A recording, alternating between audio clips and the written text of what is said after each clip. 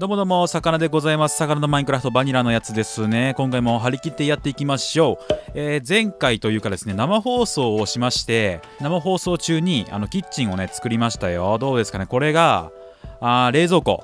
で、これがなんだっけ、水道なんですけど、これが、トラップワイヤーフックだっけ？これがすっげえ蛇口っぽいですよね。すごくて。ほんで、これがネザー水晶の、えー、逆さ階段。でネザー水晶があってほんでもってここにあのコンロ的なやつなんですけどこれがディスペンサードロッパディスペンサーかなこれが。これはディスペンサーでこの中にあの火打ち石がね入っていてこのねレバーを引くと火がつくっていうのをねあの生放送でねコメントで教えてもらって作ったんですけどすげえなこれマジで。やばい。でもってこのディスペンサーじゃなくてもこのレッドストーンのね赤いなんかチリチリがね、あのー、火っぽくていいんですけど、本当になんかこの 火力だとなんか本当中華料理はびっくり。うん。本当に美味しいね、あの野菜炒めが作れそうな感じがしますよね。うん。そんなんはどうでもいいんですけど、あと、あのこちらのテレビに、あの椅子をね、置きましたわ。そんでもってテーブルをね、置こうと思ったんですけど、テーブルを置くと、あの変な感じになるというか、そのなんかテーブルが高すぎて、ここに座った時にね、テレビがギリ見えないんじゃないかというのがあってね、ねそんな感じでして、まあテーブルは一旦なしになっております。そんでもってテレビの上にこのトラップドア、鉄のトラップドアをつけて、テレビっぽい感じ、この出っ張りを出してきましたね。うん、そんな感じのやつを生放送でやりましたよ。で、今回はですね、あの、縁側をちょっと作り始めようかなと思うんですよ。縁側ですね、縁側。なんで、えー、シルクタッチありますね。セルクチセロセロコタッチで、セロコタッチでね、あの、一旦ここぶっ壊していきますよ。ね、この窓ガラスがもったいないんで、このセルクタッチで、一旦壊していく。うん。よし、OK。そしたら、あとは普通でいいかな。うん。あれ？あ、今俺、あ、シルクタッチじゃないやつで壊した。アホやー。アホや、ちょっと、ちゃんと見てきゃよかったね。ミスったミスった。バカだ。ミスったな。まあいいや。まあいいや。ガラスぐらいな。あの砂。これ一応砂漠バイオームだから砂ならいくらでもあるわ。オッケーオッケー。やっていくぞ。ではではですね、縁側なんですけど、縁側って分かりますかね？うん、多分分かると思うんですけど、その、なんだろう。縁側っていうのはですね、なんだろう。その、廊下なんですけど、外に面している廊下というか、そんな感じのところを指すのかな？うん、正式な意味ちょっと、あの、あれかな？あの字幕で出しておこうかな。うん、そんな感じになってると思うんですけどね。適当だな、喋りが。今日も喋りが適当だぞ、気をつけろよ。だそのなんか僕のね、ままたおばあちゃんちの話になるんですけど、そのおばあちゃんちが、なんだろう、縁側の木はなんか結構濃かったのかな？そんな感じのイメージというか記憶があるんで、またおばあちゃんち行こうかな。うん。一回見に行ってもいいかも。本物をね。本物また見に行ってもいいかもしれない。なんでダークオークをちょっと持ちまして、これも半ブロックでもいいかもな。半ブロックを持ちまして、で、加工しますよね。そんでもって、えー、こっちだここの縁側を作っていきたいんですがまたねなんかその窓ガラスかなんかを使ってそのガラス戸かなんかがあって外にこうつながっていくような形になってるんですよなんで一旦ここも壊しちゃってちょこっと廊下があってまた違う部屋につながっていく感じなんですけど多分どうしよっかな。まあ、おばあちゃんち本物のおばあちゃんちはもっとこう広いんですけどもっとね。もうお隣に2部屋2列分ぐらいあるんですけどまあ一旦このぐらいで置いてみて考えてみようかな。こんな感じで縁側というかね縁側のフロアがありましてちょっと3列広いかな。3列広いかもしれない。じゃあ一旦2列にしてみよう。こうして一旦ぶっ壊してな。ちょっと調整しながら。やっぱ2列っぽいな。この家のスケールだと2列がちょうどいいかもな。なんでここ壊してそんでもってここに逆さ階段をつけていくと。うん。で横はなんかこう曲げちゃったりして。ね。だからこれでなんか床下っぽいのが若干あるような存在感を出してもいいかもしれない。こうしてね。うん。ちょっと変かな？どうだろう？縁側などうやって作ったらいいのか分かんねえな。うん。一旦ちょっと屋根つけてみてどんな感じに見えるかだな。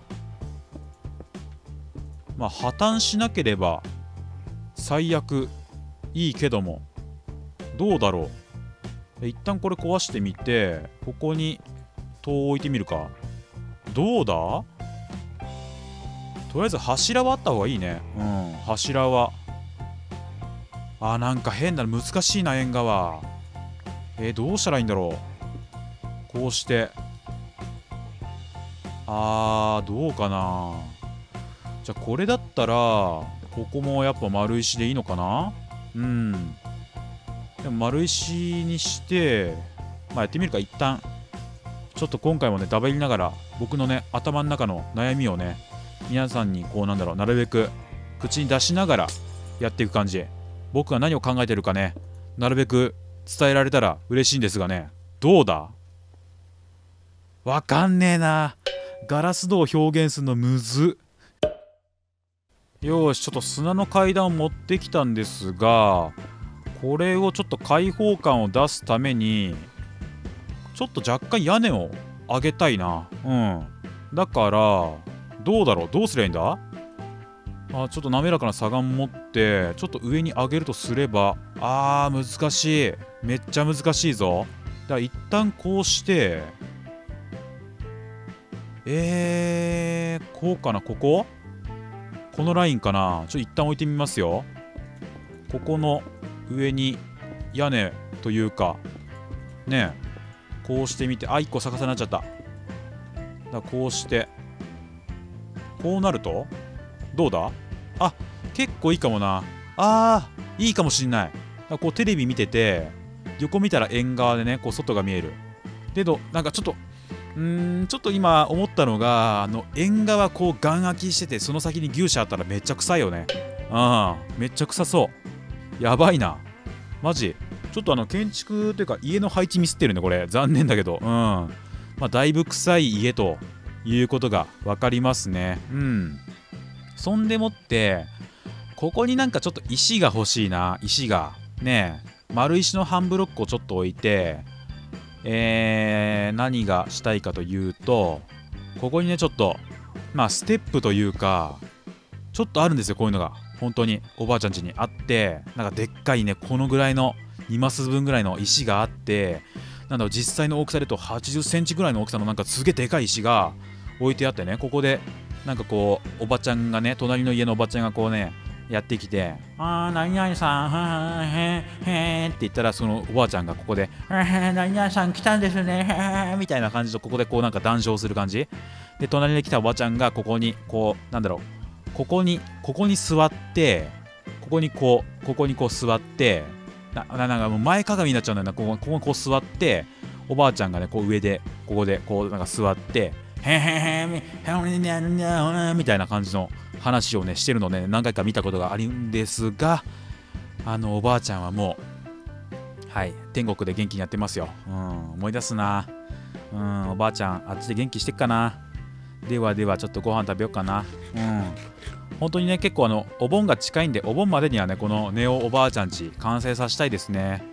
ではではですねこのなんか本来そのおばあちゃんの部屋であったスペースは屋根裏に続く階段スペースにしたいんですけどまあなんだろう。階段はまあ本当その階段というか階段を使ってしまうと若干そのスペースが、まあ、窮屈というかそんなに圧迫感が出ると思うんで半ブロックを使った、ね、階段にしていこうかなと思います。じゃあ適当に、まあ、この辺スタートにして2マスぐらいのあれでねスタートにしましてやっていこうか。じゃあ一旦えっ、ー、と左岸でいいや左岸でまあ、なんかガイドラインというかそういうのをつけていってこう上げますよね。上げていってまたトントントン。こうして4マスいったら横方向行って上がっていく感じでしょうか。なんで次はこうか。こうしますよね。こうして4マスいったら次こっち。なんで一旦下壊しいのでえー、こちら側も同じく半ブロック置いてなんでここは中腹のラインになって一旦こうしてこう置いてこうしてなんかいる？なんかいる？なんかいるね。なんかいる。あ地下か。このちあ地下じゃねえわ。チビゾンがいる。入れてって。絶対やだ。絶対入れんわ。お前らそこにおれ。ちょいと。作業自体は進んでいるが途中で僕が挟んでいる。なんか小言というか。なんかそれはなんか伝わってんのかな。何をしようとしてるのか。うん。あなんかちょっとなんか長いかもな。なんか長い気がする。どうなん？どうですかね？ちょっと。あここスタートかな。ここスタートにするか。だからこうしてちょっと位置が気に食わない。そんな感じがするんでちょっとスタート変えますわ。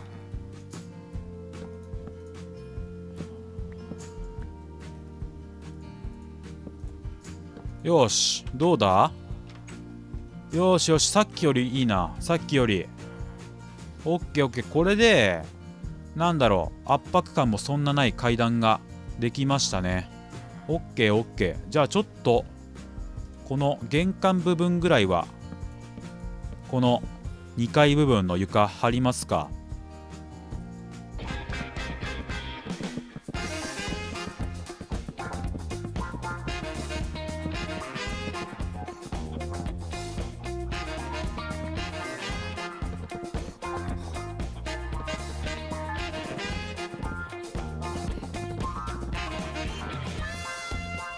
よしちょっとですね2階部分の床となる感じのねラインに、えー、このジャングルのね木材を置きましたよ。そんでもってここの、えー、囚人たちの囚あ囚人つっちゃった、えー、囚人じゃないですけど、ね、村人さんたちのあのね部屋の屋根を一旦壊してでここに蓋をしてね完成としましょうか。じゃあ次回ですねあのまだこのまあ、その前かなんか、なんかいつかの回に行ったんですけどね、この屋根裏部屋がおばあちゃん家にあるんですけど、そのおばあちゃん家の屋根裏部屋に関しては、あの僕、あの二十数年前というか、本当僕がちっちゃい頃に1回登ったきりで、そうどんな構造になってるか知らないんでね、ここの部分に関しては本当になんか僕の妄想というか想像でね、あの作る必要があるんで、その辺りをどうするかなんですよね。その辺りの、なんだろうか、デザインというか、その辺はね、またおいおい考えていかないといけないんですがね今回はこんな感じで終わろうかなと思いますよ。ちょっと下降りて、まあ、圧迫感というか感覚を見てみましょうか。まだねこの外のラインは腫れてないんですけどこんな感じですね。うん。高さちょうどいいですね、まあ、やっぱなんか、まあ、屋根がついたんで、まあ、明るさね若干落ちちゃうんですけども悪くはない。うんいいですね。ではでは。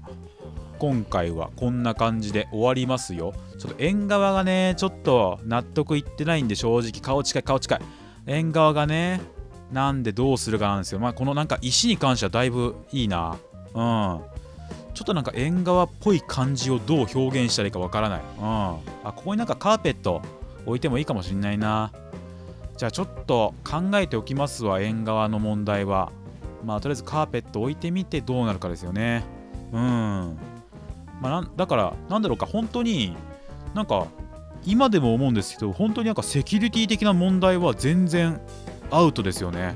玄関ここにあるんですけど玄関は鍵は閉めますけど縁側なんか特にねいつも開けっぱなしでうん。でねだからもう誰でも入れちゃうような感じだったんでね。なんだろうか。ねえ。まあ犯罪率の低さがね売りの、まあ、日本ならではのねまあ、建築ですよね。うん、そんな感じで今回終わりますよ。では、えー、ご視聴ありがとうございました。よかったら動画の高評価とかね、なんかよろしくお願いします。ひどすぎるんだよね、毎回。うん。では、えー、次回ですね、あの屋根付けかな？うん。屋根を一旦つけてしまって、そこからね、この屋根裏部屋のね、ラインを決めていこうかなと、範囲をね、決めていこうかなと思いますよ。では、ご視聴ありがとうございました。では、また会おう。